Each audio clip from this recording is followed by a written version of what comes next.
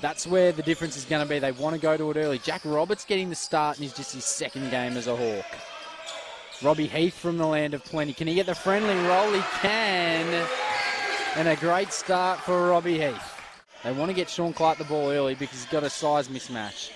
They eventually get it down low to him. The double team comes. Sean Clark may have got away with the travel, but he buries the two, and it's a strong start for the Hawks. But then, of course, you run the risk of if you don't get the O ball, the Pioneers push the ball back in transition. The Hawks have got to be careful that they don't get in a track meet, but Robbie Heath a good finish. She's got to get the ball in the hands of Sean Clark here. Heath wants to go one on one. Kicks to the corner. Fidelani, he has the range and buries a big shot. Gabe Fidelani. Gears thought about the long distance three for now. But Kubank in the air. Heath will shoot it, and he got one to go. So Robbie Heath, maybe that free throw will be the spark for him. It's one of the more remarkable things. He stopped play about 10 times just to tuck some shirts in.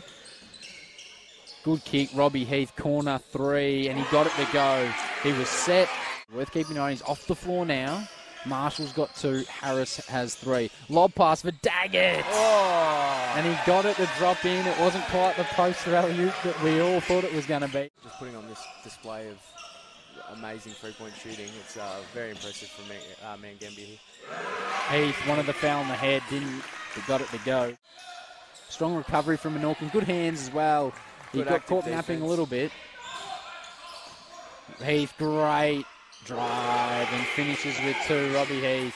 Youngsters got put in the game and the lead ballooned even further out for Geelong as Heath kicks to the corner. Sealy wide open corner three, and that's a sweet finish. Good pressure from Matty Roberts, made him work for it. And the stat padding maybe not going to plan for Harris. What about for Heath? Yeah, big throw.